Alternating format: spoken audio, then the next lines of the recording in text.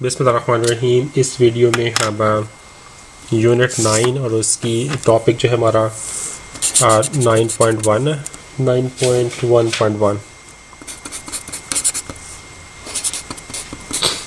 और उसकी example number two करेंगे हम।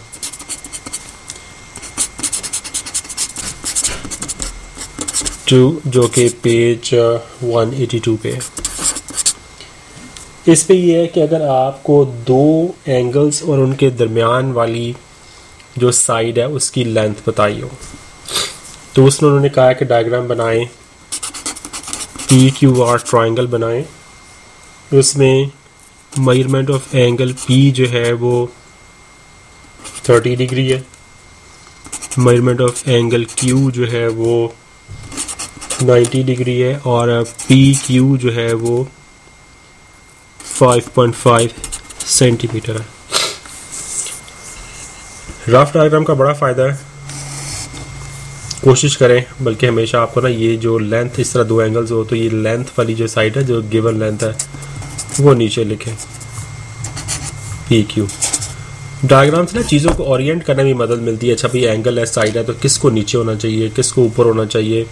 अगर आपको डायग्राम इस तरह मुश्किल लग रही है, कुछ आप देख रहे प्रॉब्लम आ रही तो आप चीज़ों की ना ओरिएंटेशन चेंज कर सकते हैं। मे बी आप मिसाल दे रहा हूँ, इस इस सवाल में तो ये वैलिड नहीं है कि मे बी आप पी क्यू की बजाय आर क्यू को नीचे ले लें। ऐसी बहुत सारी चीज़ें पॉसिबल हैं। अच्छा पी के ऊपर थर्टी का एंगल है तो ये पी के ऊपर आपने थर्टी का एंगल किसी तरह बनाना है। और क्यू के ऊपर आपने नाइन्टी का एंगल बनाना है। ये नाइन्टी का होगा तो ये कहीं ना कहीं जाके कट करेंगे। पी आर पॉइंट होगा और ये 90 का एंगल है। अंदर लिखना वैसे चाहिए। तो आपने ये डायग्राम बनानी अब आपको पता है कि पी क्यू नीचे होगा, यहाँ पी पे 30 का एंगल बनेगा क्यू पे 90 का बनेगा। आप ये सारी रफ कैलकुलेशंस और रफ डायग्राम बना चुके हैं। वहाँ आप गलती के आपके चांसेस कम हो गए। तो आप पी क्यू की 5.5 सेंटीमीटर की एक लाइन लगाएँगे। आप जो है वो एंगल बनाना पहले मेरा ख्याल है यूनिट सेवन था, अगर मैं गलत नहीं कह रहा। उसके शुरू में शायद कुछ चीज़ें थी, वो आप सीख चुके हैं। तो आप फाइव पॉइंट फाइव की है तो आप फाइव पॉइंट फाइव की ये लाइन लगा लें।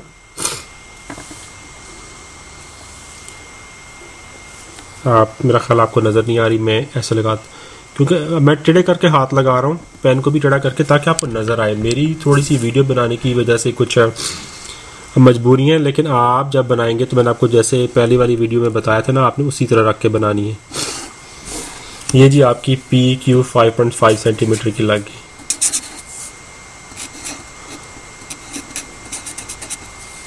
अब पी पे आपने थर्टी का एंगल बनाना। थर्टी का जो एंगल होता है वो सिक्सटी का हाफ़ होता। है एंगल्स की हम प्रैक्टिस वहाँ कर चुके हैं, अगर आप चाहें तो वो वीडियो देख सकते हैं दोबारा से। मुनासिब सा खोल के इस पे रख के तो आप इसे ऐसे करके एक आर्क लगा उसके बाद इसको यहाँ पे रख के, ये आप ऐसे करके लगाएँ। तो अब आपका ये जो पॉइंट है ना, इससे अगर आप ऐसे करके, बल्कि कह रहा हूँ कि ये 60 का एंगल बन गया। अगर आप इस पॉइंट और इस पॉइंट में ऐसे लाइन निकालेंगे ना तो वो 60 की होगी। आपने 30 बनाना है। उसके लिए अब आप प्रकार को यहाँ पे रखें। और ऐसे करके लगा दे आर्क। फिर आप इसको ये जो है, ये ज़ीरो एंगल वाली जगह उस पर लेके आए, रख के दोबारा लगाएँ। अब ये और ये है ना, इनमें आपने चेंज नहीं करना कि प्रकार को खोल के ज़रा छोटा बड़ा कर दे, ऐसे नहीं करना। बल्कि पूरे के पूरे जो स्टेप्स है ना, आपने जैसे आपने ये सेमी सर्कल लगाया था तो उसके बाद आपने ये किया था। मैं दोबारा से बताता हूँ, ये आपने जब आर्क लगाई ना प्रकार को छेड़ना नहीं है, उसी तरह रख के आपने यहाँ रख के ऐसे लगा देनी है। ये आपका सिक्सटी का एंगल बन गया। उसके बाद चाहें तो प्रकार को उसी तरह रख लें, या आप बेशक बड़ा करना चाहें बास का तो मुमकिन आप बड़ा करना चाहें। सिचुएशन पर डिपेंड करता नहीं तो वैसे ही रख के लगा लें, लेकिन आप बड़ा कर सकते हैं। अब आप दोबारा लगाएँगे लेट से आपने बड़ा किया है तो फिर जितना भी किया है, उसी को उसी तरह रख के इधर से लगानी। ये नहीं करना कि इधर रख के लगाई, फिर छोटा करके इधर लगा ली। नहीं। ये और ये ये पॉइंट और ये पॉइंट के दरमियान जब आप लाइन लगाएँगे तो आपने उस लाइन को उसी जितना प्रोकार्ड को खोला, उसकी वो जो डिस्टेंस है, वो आपने मेंटेन रखना है। तो बहरहाल आपका थर्टी का एंगल बन चुका। ये आपने पॉइंट लगा दिया। अब इस पॉइंट में से और इसमें से ऐसे करके, देखें, सही तरह सेट करके, ऐसे एक लाइन खींच दें। बहुत ज़्यादा लंबी लगाने की ज़रूरत नहीं। लेकिन आपको पता है कि आपने इधर से 90 का बनाना है ना तो आपको नज़र आ रहा है कि ये तकरीबन ऐसे करके जाएगा। तो इससे ना आप थोड़ा सा आगे करके बढ़ाएँ। अगर आप पीछे छोड़ देंगे, फिर आप 90 का एंगल बनाएँगे, या टच नहीं करेंगी, फिर आप इस लाइन को दोबारा से लगाएँगे तो ना नीट नीटनेस ख़त्म हो जाएगी इसके अंदर। तो आप पहले से थोड़ा सा आगे करके बनाएँ, क्योंकि आपको नज़र आ रहा है क्यू पे 90 का एंगल बनाना जो कैसे करके बनेगा। अब क्यू पे 90 का बनाना है 90 के लिए पहले 60 और 120 वो बनाएँगे, फिर उनका हाफ़ करेंगे। ये मैंने प्रकार को रखा क्यू पॉइंट पे। ये मैंने लगाया। अब मैं इसको यहाँ पे रख के ये देखें, ये 60 का लगाया। 60 के ऊपर यहाँ रख के मैंने 120 का लगाया। अब मैंने इस पॉइंट पे और इस पॉइंट पे दोबारा रख के इस एंगल का बाइसेक्टर निकालना। तो ऐसे किया, फिर इस पर वापस रखा। तो ऐसे किया। अब छोटा सा टिप बहुत ही बारीक सा है वो ये कि आपको पता है कि आपने इस पॉइंट पे दोबारा आना है।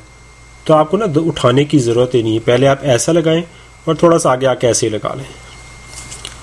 उस तरह उसके बाद आप दोबारा आके ऐसे लगा लें। इस तरह इस जगह पे ना बार बार आगे रखने से, जैसे मैं पहले कह रहा था, सुराख हो सकता है तो उसके चांसेस कम हो जाएँगे।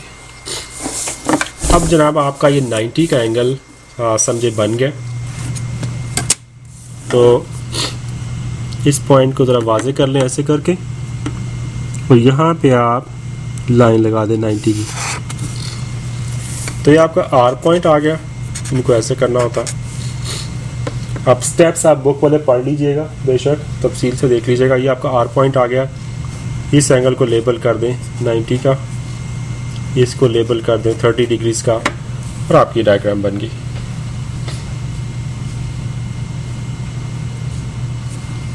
अब हम यूँ करते हैं कि एग्जांपल नंबर थ्री करते हैं। वो भी पेज 182 पे ही है।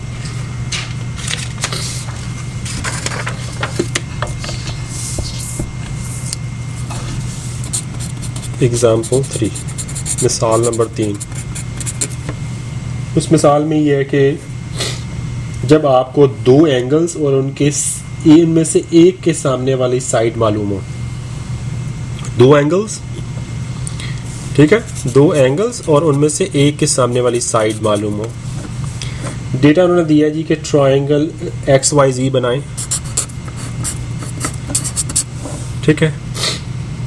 उसमें एंगल एक्स जो है ना वो 60 डिग्री है।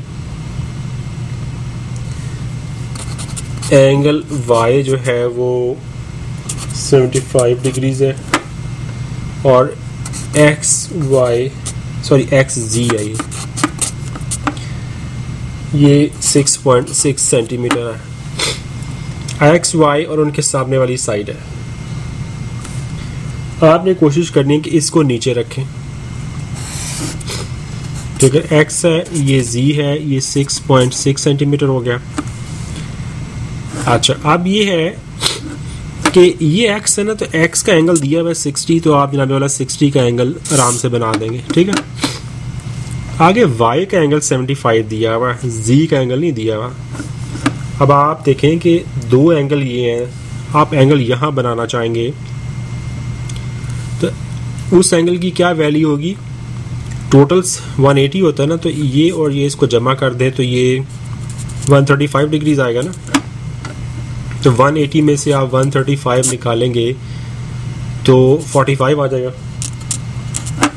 इसका मतलब यह है कि एंगल Z की वैल्यू 45 होगी। तो यहाँ आप 45 का एंगल बनाएँगे, यहाँ 60 का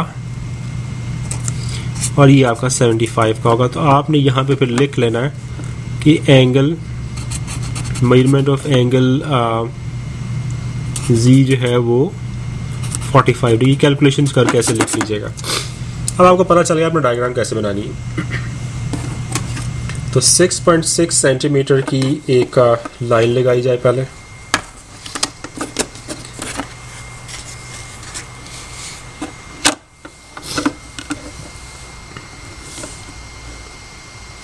ये जी 6.6 सेंटीमीटर की मैंने एक लाइन लगा दी। इसको मैंने इस रफ डायग्राम के मुताबिक लेबल कर दिया। आप ये मेरा पॉइंट एक्स है। ये मेरा पॉइंट जी है और ये 6.6 सेंटीमीटर है। अब मैंने यहाँ पे 60 का एंगल बनाना है। 60 का एंगल सबसे आसान होता है। तो एक्स पे मैंने रख के, आप 60 का ये देखिए मैं एंगल बना रहा हूँ।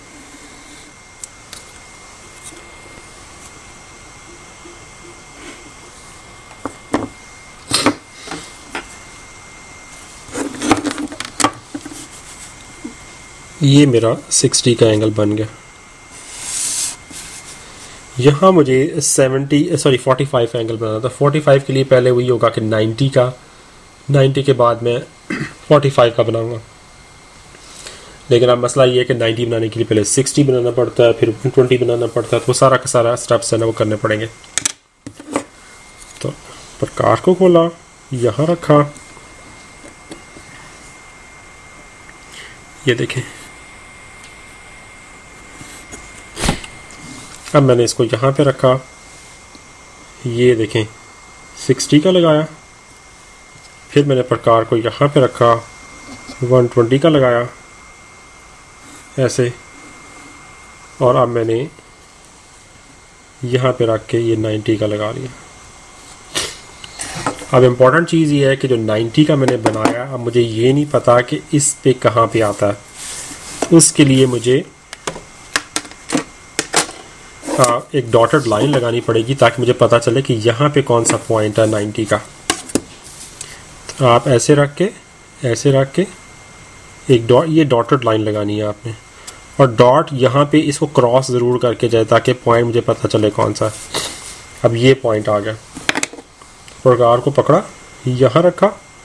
थोड़ा सा मैंने ज़रा ज़्यादा खोल दिया है, ऐसे लगाए मैंने।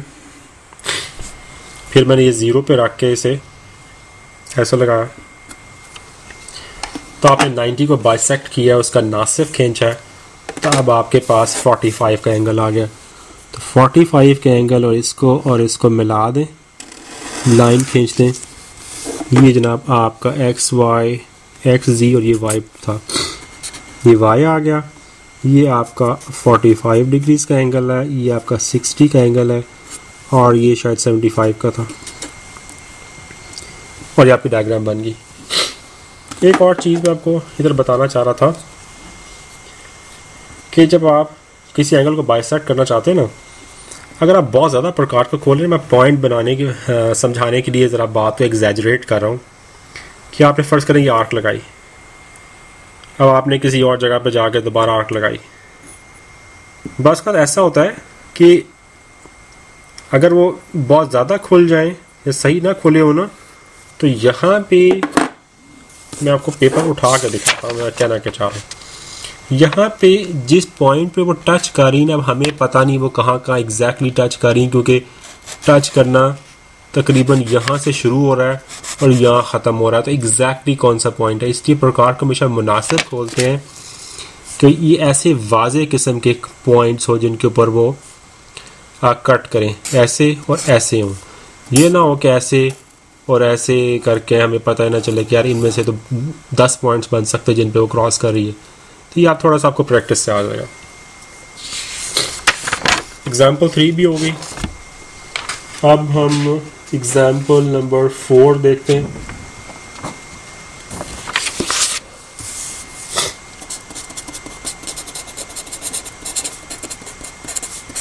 ये पेज 183 पे है।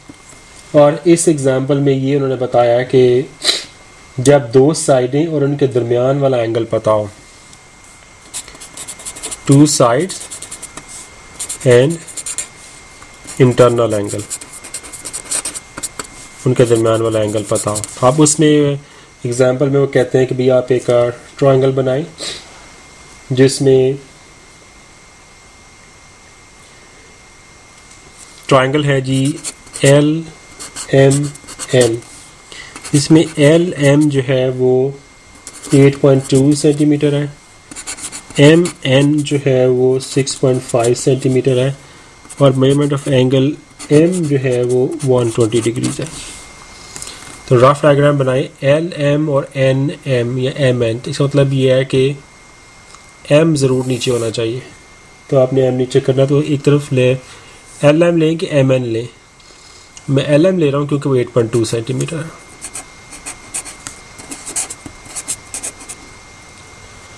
बड़ी नीचे रखेंगे तो डायग्राम के ना एक्यूरेट बनने के चांसेस ज़रा ज़्यादा होते हैं, आसानी से भी बनती। तो 8.2 ये आ गया। आप उसके ऊपर एम एंगल 120 का आप फ़र्स्ट करें, आपने यहाँ पे ऐसे करके 120 एंगल बना दिया।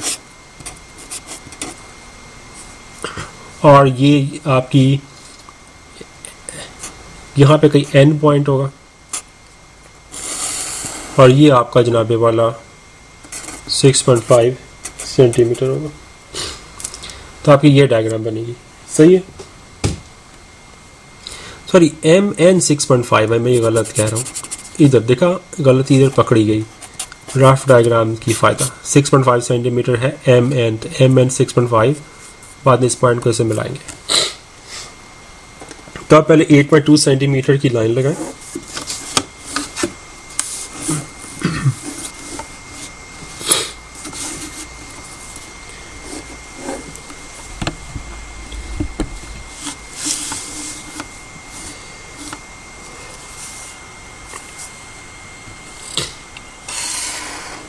एट पर टू की लाइन लगी। अब राफ डायग्राम के मुताबिक मैं इसे उसी तरह लेबल करूँगा। ये एल होगा, ये एम होगा, ये एट पॉइंट टू सेंटीमीटर। अब मैंने एम पे वन ट्वेंटी का एंगल बनाना। एम पे प्रकार रख के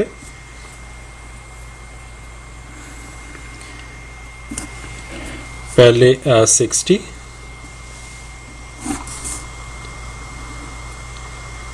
प्रकार उठाई आ, अगले पॉइंट सिक्सटी वाले पे रखी और ये वन ट्वेंटी का। तो आपने इसमें से गुजरता हुआ वन ट्वेंटी वाले में से एक लाइन लगा देनी है ऐसे करके। अब आपको थोड़ी सी प्रैक्टिस होनी चाहिए कि ये लाइन एटलीस्ट 6.5 सेंटीमीटर से लंबी हो तो आपको आ जाएगा थोड़ी सी लंबी करके लगाएँ ठीक है? अब आप ये देखें कि आपका ये डिस्टेंस एम एन जो है, ये एम और एन 6.5 सेंटीमीटर है ना? तो आपने प्रकार को 6.5 सेंटीमीटर खोलना। मैंने यहाँ पे वो हल्का सा सुराख किया हुआ है, मैं इधर आराम से रख लेता हूँ, यहाँ पे। यहाँ पे। तो 6.5 में खोलता हूँ तो ये तकरीबन यहाँ पे आ जाती है। अब यहाँ देखे प्रकार का कोना मेरा करीब है ना तो इधर भी मैंने ऐसे नहीं करके देखना, बल्कि मैंने इसको यहाँ पे रख के देखना, उसी लेवल पे। तो फिर एम के ऊपर रख के, जहाँ पे देखें आपका, ये आएगा ना ये लाइन उसके ऊपर आपने 6.5 सेंटीमीटर का ना एक से आर्क लगा देनी। है अब आपका ये जो पॉइंट आया ना, ये आपका पॉइंट है डायग्राम के मुताबिक एन पॉइंट और ये फासला आपका 6.5 सेंटीमीटर है। इस पॉइंट को अब आप इससे मिला दें तो आपकी ट्राइंगल जो है ना मुकम्मल हो जाएगी।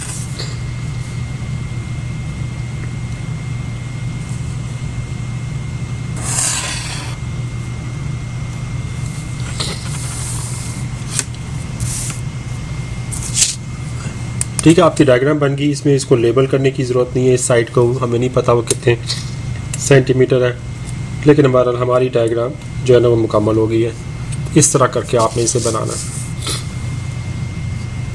इसके साथ इस वीडियो को यहाँ ख़त्म करते हैं। अगली वीडियो में हम बाकी एग्जांपल्स करेंगे इस टॉपिक की। वालेकुम